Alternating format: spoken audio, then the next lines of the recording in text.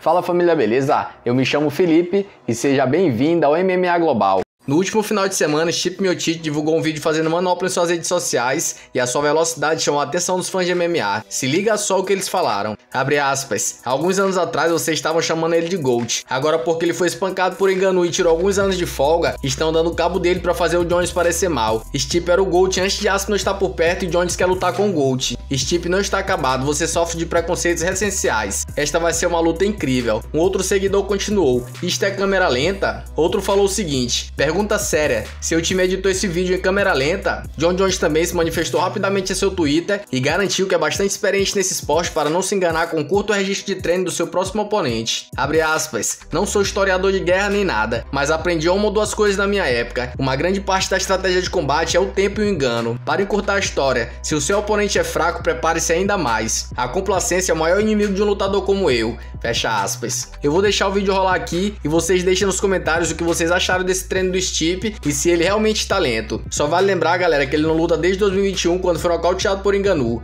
ou seja, 3 anos sem lutar.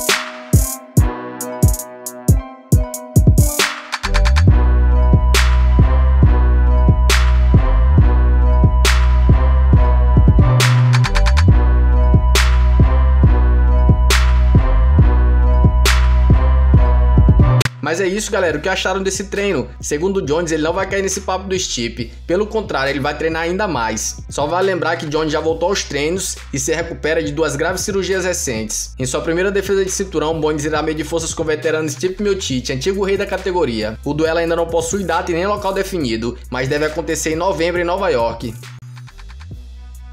Então é isso, galera. Mas o que vocês acharam de tudo isso? Deixe a opinião de vocês nos comentários abaixo. Por gentileza, se inscrevam no canal, deixem o like que ajuda bastante.